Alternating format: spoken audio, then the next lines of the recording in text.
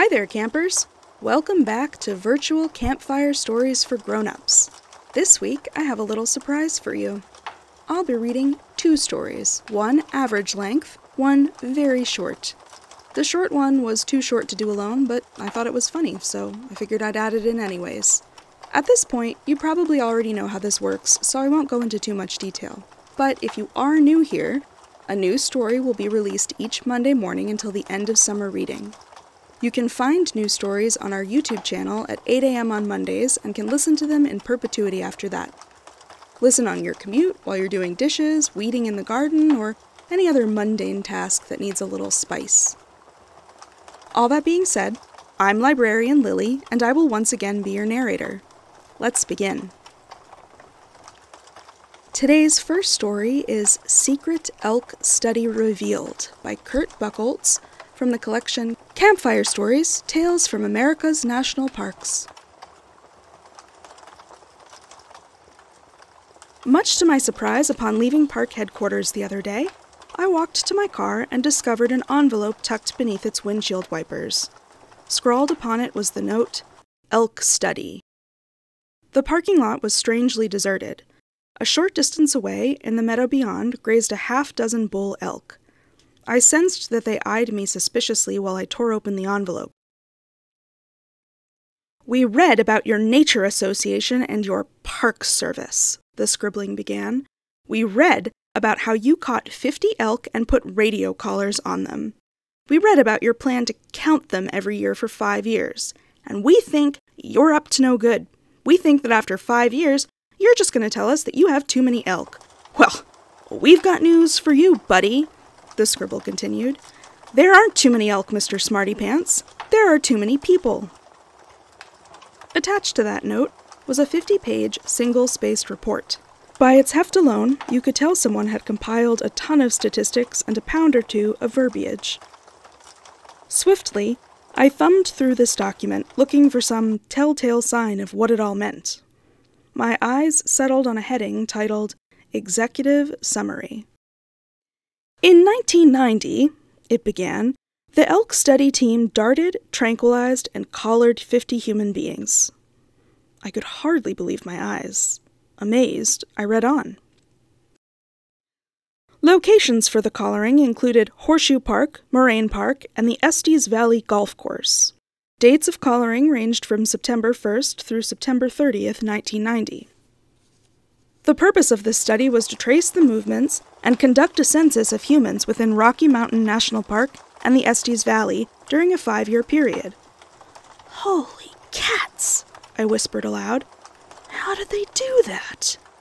Our analysis of human movement prior to the study revealed concentrations of human activity in the Horseshoe Park area during our previously rather private, rutting season.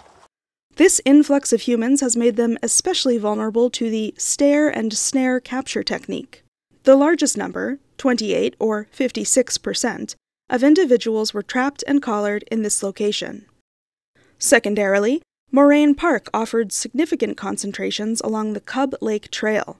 Nocturnal trapping activity ranged from the east and southeast grid of Moraine Park Campground. A total of 18, or 36%, of the captures occurred within this matrix. The fewest captures, 4, or 8%, occurred on the Estes Park golf course. While this human population was older than the average and was the primary target for capturing and collaring, the team discovered that this population was most susceptible to shock and sudden death. Three humans died during the initial phase of our collaring operation and before we realized their susceptibility to stress. Success of darting and collaring was largely due to the new generation of tranquilizers now commonly used by the human population. Many of the collared humans, in fact, were approached and successfully captured and collared while dozing. The five year tracking study revealed the movements of these 50 humans and their associated herds. This study enabled us to determine whether their population was increasing or decreasing. It also allowed us to determine their patterns of movement and the extent of their range. Summary after five years, two of the four humans, or 50%, captured on the Estes Valley Golf Course were found in the general area. Captured in 1990 near the 6th green, in 1995 the two remaining were spotted together approaching the 17th tee. We cannot hypothesize about the two missing humans, except to say that our earlier experience with stress among these particular mammals does not bode well for their survival. At the Moraine Park location, after five years, only three, or 16.66%, of the original population remained. It is our suspicion that those three may not be among the typical mobile population of humans, but rather part of an indigenous species somehow related to park management. Interestingly, the three were spotted within a quarter mile of their original capture site. We cannot explain the loss of all other human subjects and cannot attribute their loss to mortality. Instead, it is possible this Moraine Park site hosts a basically transient population. At Horseshoe Park, after five years, only one, or 3.57%, of our trapped and collared humans could be found. While this site was densely populated during the capture period, and even more so in 1995, we cannot empirically explain the lack of collared humans. It has been argued in previous studies, citation Malthus Ehrlich, that human populations rise and decline.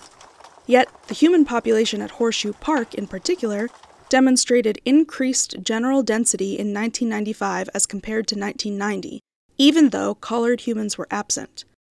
We speculate that the 1990 collared humans may have chosen less dense sites if they were visiting in 1995. Satellite tracking provided a range study for 31, or 62%, of the collared humans. We caution that subject individuals may not represent herd movements. But single individuals were tracked to Japan, numbers 16, 18, and 34, Australia, number 4, and Germany, numbers 6 and 24. A total of six ranged to Denver, five ranged to Fort Collins Greeley. Surprisingly, 14 ranged to a single city in Iowa, specifically Des Moines. Conclusions our population study reveals the density of humans increasing 28% between 1990 and 1995, or an average increase of 5.8% annually during the month of September. While the density of humans is increasing, the transient nature of the human population is also evident. Both individuals and, we surmise, herds are far more fickle regarding territoriality than our earlier studies demonstrated. Citation Morris Gibbon. Within the five year period, few humans remained in or returned to their original capture sites. Recommendation Before any radical solution for the culling of the human population from the areas in question can be proposed, additional studies should be conducted. A dissenting minority of this study team, however, insists that immediate measures be taken to reduce the human population. As I finished reading, I looked over my shoulder to see six bull elk stepping closer, as if grazing and glancing at the same time. I jumped in my car and sped away. Thus concludes our first story today. The second story is The Legend of the Blue Mist by Bill Robinson from the collection Campfire Stories Tales from America's National Parks.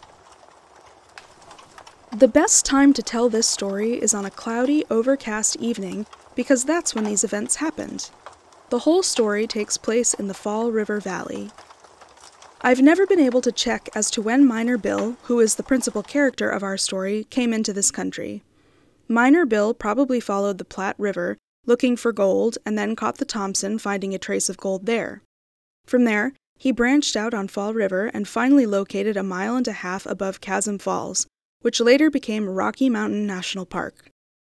He never acquired any deed to this land or anything, he just built a cabin there, dug a mine, and then settled in. He was a very strange man. I heard that he was the stepbrother to William Oppenheimer, who was connected with the Manhattan Project.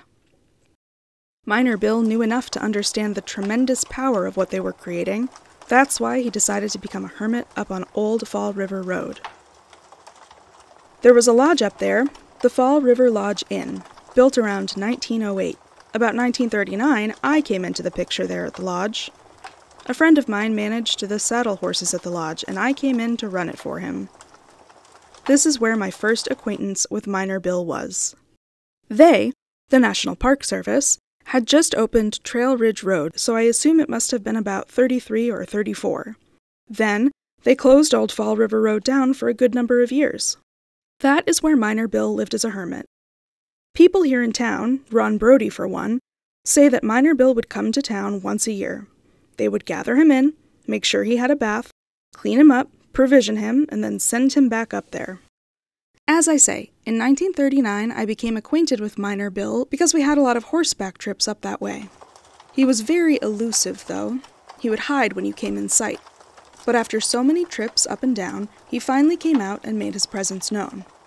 He asked if we would pick up provisions for him in town and drop them off. He was very happy, and I'm sure he eked out enough gold from the hill up there to make a living. At least he never wanted for anything. When he sent us to town in those days, it was real strange to carry a little poke of gold dust.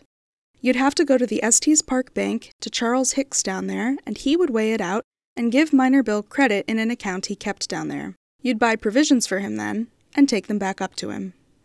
About, oh, 1941, they reopened the road, Fall River Road, and there was a lot of travel going up and down. Miner Bill would sit out there, and if people saw him, they would jump out and take his picture. Well, he thought this was a pretty lucrative thing, so he started charging to have his picture taken. If people didn't pay, say if somebody just stopped their car and took his picture, when they'd get up the road around the next switchback, he'd fire his old rusty gun at them and scare the heck out of them. Well, the Park Service didn't go for that, and they tried to evict him, but he claimed he had lived there so long that he had squatter's rights on that land, so there wasn't much they could do about him. Things were status quo for probably five or six years from 39 on. At that time, there was a young man in Denver, a radio announcer named Troy Torland, who was just breaking into radio. He was one of the first backpackers we ever saw up here. Back in those days, you could ride all day in the national park and not see another soul because the hiker and the backpacker hadn't really come into this area yet. Troy happened to be one of the first ones, and he loved to hike. He didn't care about horses, though. He would ask us to take his provisions on horseback to where he was going, but he'd say that he'd rather walk. So, he hiked in, and it was late one September that Troy came into the lodge. He'd always leave his car at the garage and he'd say, I'll be back tomorrow, or I'll be back two days from now, so we knew when to start looking if he didn't show up. He was a real responsible young man, though. So, he left on this late September day, and shortly after, one of these early winter storms with the clouds came in. A lot of you have probably been up here when the clouds seem to settle right in the whole valley and just cover everything. Well, this was one of those storms. Troy had gone up the old Ute Trail and cut down by Iceberg Lake down to Willow Park, and was coming out the Old Fall River Road when the clouds just really closed in. The only way he could find his way back down was by following the sound of the river. All of a sudden, Troy said he saw a light, and so he made his way to the light, which happened to be this old cabin that Miner Bill had built. This cabin, incidentally, had eight sides on it. Miner Bill had built it out of logs. It had a real pointed roof and a big flat rock on the roof. Whenever somebody asked Miner Bill what the rock was for, he'd say that it was to ward off the evil spirits. Really, it was to keep the wind from blowing the roof off in the winter. Troy went up and knocked on the door. Miner Bill came to the door, and Troy told him that the weather had closed him out. He was seeking shelter for a little bit until he could get his bearings. Well, I was about ready to eat, and I've got plenty for you, so why don't you come in and have dinner? So Troy went in and ate dinner, and they started talking, and found that they had a lot of mutual interests. Troy loved the outdoors, and Miner Bill did too. Troy knew enough about his past or people he had been with, so they talked until probably three or four o'clock in the morning. Troy got in the next day and told us he had spent the night with Miner Bill, which seemed real unusual to us.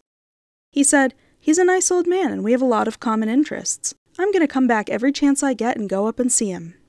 He did this for about two years. Every free weekend he had, Troy went up and saw Miner Bill, and he'd spend the night with him. So, knowing Troy, we got a little more acquainted with Miner Bill, and probably did a few more favors for him and whatnot. Well, World War II came along about that time. Troy went into the service. Shortly after, I went in. Two years later, I was back on furlough. Troy happened to be here at the same time on furlough, so he went up to see Miner Bill, and I rode the country. When Troy got back, he said, Something is happening up there. I don't know what it is, but Miner Bill is real nervous about whatever it is. So we left that summer and came back a year and a half later. I beat Troy back out, and the first thing I did was come up to the lodge. It was late fall, and so I rode a few of the trails. I looked the country over and happened to stop by to see Miner Bill. He was real elusive, and I thought, well, I've been away for a couple of years. He doesn't remember me and whatnot. But after talking to him, it didn't seem to bridge a gap in there, and I knew there was something wrong. It was the next spring before Troy came back, and he came in the lodge early that spring. He said, I've got to go up and see Miner Bill. So he went up and came back a couple of days later. He brought us a list of provisions that Miner Bill needed. He said, The first chance you get, you take these to him and check on him. I'll be back up. I'm not going back to my job right away. I'm going to come up and spend two or three weeks with him. I'll try to talk him into leaving the hills and going back to Denver with me. Well, the next day I took the provisions up to Miner Bill, and there was a funny feeling about the whole area up there. I think Miner Bill probably tried to give us this impression, but there was something strange. So, about a week later, Troy came up and he said, I'm going in for a couple of weeks to hike and spend some time with Miner Bill. So we went up there. Probably a week later, I rode by and I didn't see anyone. I heard a dog barking, which was real strange because Miner Bill didn't keep pets around. He ran a little trap line because there were a lot of deer and elk up there. He had a few chickens out in the chicken house to furnish him eggs and meat, but that was about all. Well, I heard this dog barking, so I went over and tied my horse and looked in the cabin window. There was a big Doberman Pinscher dog chained up in the cabin. There was one post right in the middle of the cabin holding the roof up that this dog was chained to. I thought this was a little strange. There was no sign of either Troy or Bill, so I went back to the lodge. It was probably about four or five days later that Troy came back to the lodge. He said, Something is happening up at Miner Bill's in that particular area that I'm not familiar with. I can't get any information out of Miner Bill at all, but something is developing there that only he is aware of. Troy said that he had two or three job interviews. He'd be gone for about a month, but would be back at the end of August. He wanted to go up there then and bring Miner Bill out. In the intervening time, we'd drive by there to check on him. Miner Bill would generally leave a little note on the door if he needed anything, provisions or whatnot, and the few letters he got. He got quite a few letters, actually, for being a hermit, and a lot of scientific journals and whatnot came in. We'd generally pick up his mail, which was delivered to the lodge, and anybody going by would just drop it off. He had credit at the bank to buy his provisions. Probably three times the next month he left messages on the door for supplies of one sort or another, and we'd pick them up and deliver them, Troy came back that August and went up there and spent three days. He came back and said, I can't talk the old man into coming out. He's going to stay there. But something is wrong up there. I know it. I've got a job in New York and I'll be gone about three months. But I'll be back and we'll try it again. At that time, I was going to school down in Fort Collins, but I spent all my weekends up at the lodge. So it was late in December that I happened to be up there on the weekend. We had a kind of nasty weather situation that month, and there was probably a foot and a half of snow on the ground up there. Troy pulled in late Friday evening and said, I'll spend the night with you all here. The first thing in the morning, I'm going up and I'm going to talk Miner Bill into coming out. He just can't survive another winter up there. So, Troy went up and the clouds really came in. We had probably four or five inches of fresh snow before the storm quit, but then the clouds settled back into the valley. Monday passed, and Tuesday passed, and the clouds hadn't lifted. Early on Wednesday morning, Troy came back down. He came in around breakfast time, which means that he'd had to have left there about midnight to have made his way down. Troy sat down and had breakfast with us. He never said a word. We all finished breakfast and started to make plans for the day, going this way and that way. Finally, he said, I've just got to talk to somebody, and we've got to do something with Miner Bill. We went through an experience this weekend that you wouldn't believe. We said, So all right, let's have it. Troy said that he got up there and settled in, but Miner Bill wouldn't hardly talk to him for the first day he was there. He spent the night, and this would have probably been on a Sunday or a Monday. He said that they'd just finished dinner and were going to bed when the dog started growling. Troy said, This was the first time I'd ever heard that dog make a sound at night when we're all locked up there. With that growling and all, Miner Bill just went into a rage. He went from one side of the cabin to the other and kept looking out the window. Troy said it was pitch black and snowing with the clouds on the ground. He didn't think there was anything out there. He thought probably a bear came down or something. Well, The dog finally settled down. Troy got a hold of Miner Bill and sat him down and asked, What is going on up here? Miner Bill said, I don't know what is going on up here, but whatever it is has been haunting me for the last six years. Come here and I'll show you. He grabbed his old oil lantern and went out into the snow.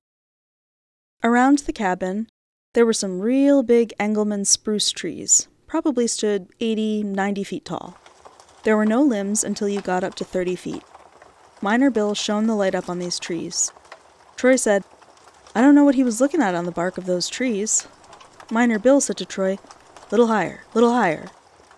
Troy kept looking up, and finally he could see some marks on the trees. He said, Yeah, there's some marks on the trees up there. A bear probably climbed up there. Miner Bill said, No, no, that isn't a bear. You wait. You wait until morning. We'll come out in the daylight and I'll show you what it is. Well, they got back in the cabin and almost settled in when the dog started growling again. This time he was lunging against his chain in the middle of the floor. Troy got up and looked up the canyon toward Iceberg Lake where that gorge comes down. He said there was a blue light kind of shining. It must have been a reflection of something coming off of something else. This blue haze kept shifting down, and as it got closer, the dog growled more.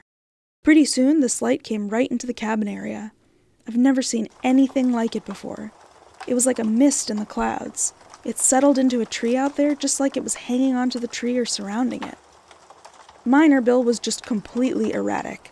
He was going from room to room, and the dog was making such a fuss and whatnot. All of a sudden, the light was gone, and the dog settled right down on the floor.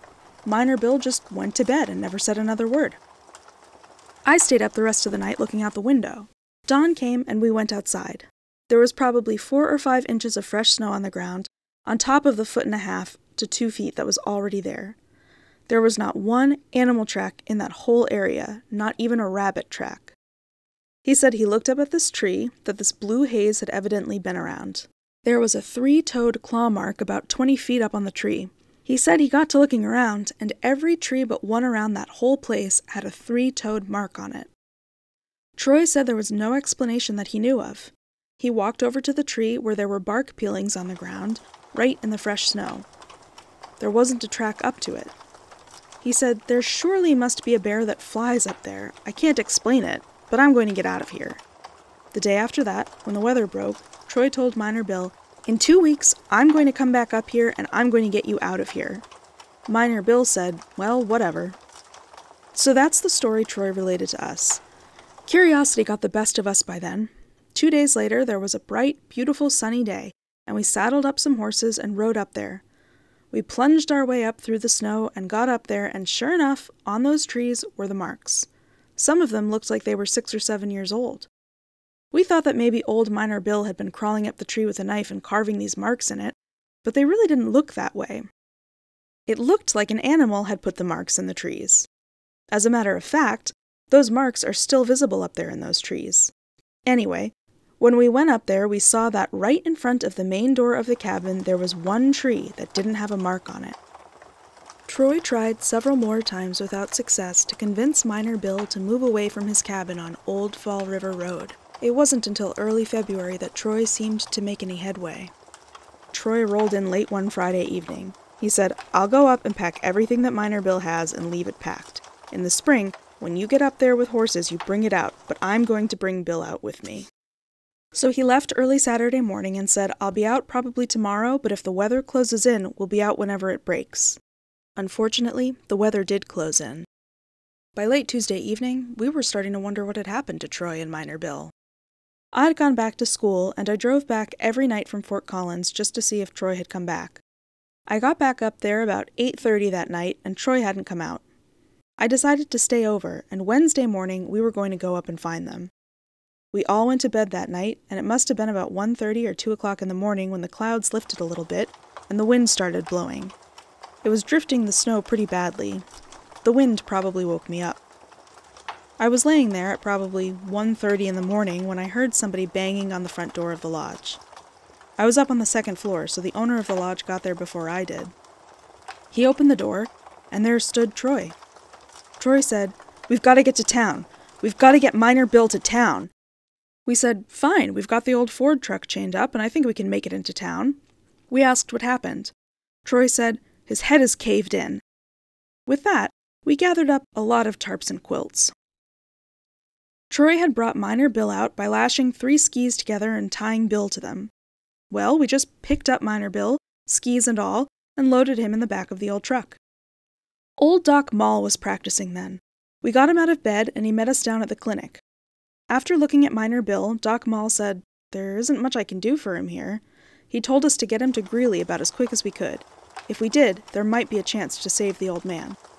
We headed right off to Greeley and arrived at the hospital an hour and a half later. They took him right in. Troy told us to go back up and he would stay down there until Bill was out of danger. Late Wednesday evening, Troy came back up. We asked him what had happened. He said, You're not going to believe this story. I had him convinced to leave when the clouds came in. We were puttering around the kitchen, packing up his utensils and personal belongings. All of a sudden, the dog started growling and I looked out of the window. There was that blue light again. It just seemed to hover around. One time, it went clear up to the needles of Ypsilon Mountain. It sat up there for an hour.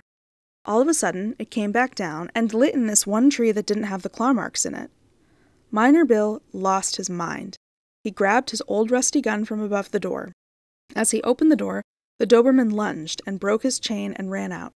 The dog leaped up the tree, and just as soon as he jumped, he was laying in the doorway. The dog's throat was cut. With that, Miner Bill ran out and started shooting that old lever action gun up in the tree. Soon as he got under the tree, a branch must have broken and hit him in the head. When Bill hit the ground, it was dark out there, no blue mist or anything. I assume that one of his shells hit an old limb and weakened it. Miner Bill lived, but his mind was not quite right from that day on. They put him down in the state home. Every once in a while, he'd slip away from them, and three or four days later, they'd go pick him up at his old cabin. At that time, our district ranger was named Loren Lane. He and I did a lot of plowing around up there. We took casts of these supposed claw marks. We took pictures, but nothing ever came of it. We thought Miner Bill was just an old man who got hit on the head with a tree branch. About three years went by, and a group from the Fort Collins Ski Club came up. They were going to Lawn Lake on an overnight. They skied up there on a beautiful moonlit night. They were all full of energy and they decided to ski up to Crystal before going to bed. So about 18 of them hiked the trail up to Crystal Lake. One by one, they came back down. It was so light that you could see everyone on the hill. Everybody came down, but the last person decided to go up to Rowe Glacier, which was probably 150 yards. They could see him walking up there for most of the way, but then he disappeared around the bend for just a minute just then, a blue haze rose up from Crystal Lake. They said they could see him, and then they couldn't. They sat there and waited and waited, but he didn't come down. They waited an hour. Three of the party decided to go up there. They could see where they had come down. They could see where their companion had telemarked up the hill and turned. But that was it. His tracks just stopped right there. They made big circles around and couldn't find a trace of him. They sent two boys down. These boys arrived at the lodge about 4:30 in the morning. We called Loren Lane and he organized a search party. In those days, there were probably 10 personnel in Rocky Mountain National Park in the winter. We headed up about 8:30 that morning and got up there about noon. We found the tracks, but no trace of the skier. Nothing. Nothing. Off to the right, about 10 feet from his track, were these three tracks coming down the mountain. We all figured when the snow melted off in the spring, somebody would stumble across the body. The body was never found. Four years later, another group of hikers had paused when one in their group experienced some mountain sickness. The clouds, tinged blue, settled down over the group, and when they lifted, the ailing hiker had vanished. The only thing left where he had been sitting were three claw marks. Another year passed, and a large group of folks got stuck in Grand Lake when a storm hit. The rangers formed a convoy to lead everyone back down safely. The last car, a family of five, pulled over because one of the little boys felt sick. A ranger noticed a blue mist by the car and went over to check on them. Apparently, the boy felt better and the family drove away. Standing in the spot where the car had been stopped, the ranger looked down to see a three toed claw mark. Sometime after that, two hikers went in. Only one came out. Three months later, travelers noticed a blue mist hanging over the mountain. They mentioned it to their waitress when they stopped for lunch, who called the sheriff. Right where the blue mist had been seen, the sheriff found the body of the second hiker. Another group of hikers tried to scale Mount Lady Washington. All of them ascended as far as they could and then descended again. All but one. The other hikers notified the Park Service, and rangers began the search. They found her on a hillside by Grand Lake. Her bright orange coat made her stand out. When they got to her, she was surrounded by a circle of the now infamous three toed tracks. All she could remember was seeing a blue mist settle around her. So ends the legend. Plenty have witnessed the blue mist, and those who haven't have seen the evidence left behind. In a national park, you expect someone to get lost every so often. But now, when the blue mist is spotted, park rangers and townspeople alike begin suiting up for a search party. Those were our stories for today. I hope you enjoyed them. Thank you for listening to another episode of Virtual Campfire Stories, and I hope you'll come back again. Remember, all of the stories for this program will be available in the Virtual Campfire Stories for Grown-Ups playlist on our YouTube channel. If you're interested in reading more from Campfire Stories, Tales from America's National Parks, contact the library. Have a great week, and I'll talk to you again next Monday. Bye!